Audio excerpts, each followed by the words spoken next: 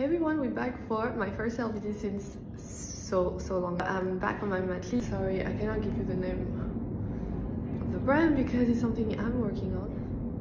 And so I want to test it on camera you guys tell me what you think. So I don't like to put concealer too close to my lash line because I like to use my natural shadow as a eyeshadow basically.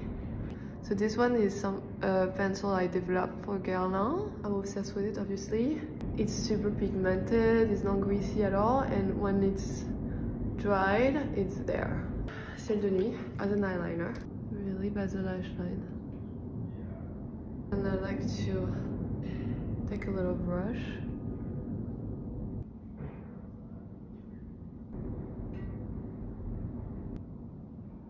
Now I'm gonna have Bleu Minuit. I'm back, so I'm gonna make you a lot of content.